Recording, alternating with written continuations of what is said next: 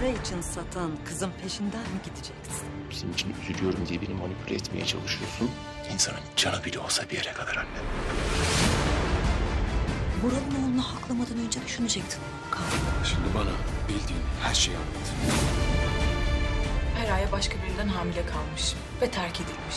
Ateşte acımış kıza. Çocuğu herkes ondan bilsin diye evlenecekti bu kadar. Leman bebeği öğrenmiş olabilir. Evlenmenin altında yatan gerçek sebebi senin ağzından duymak istiyorum.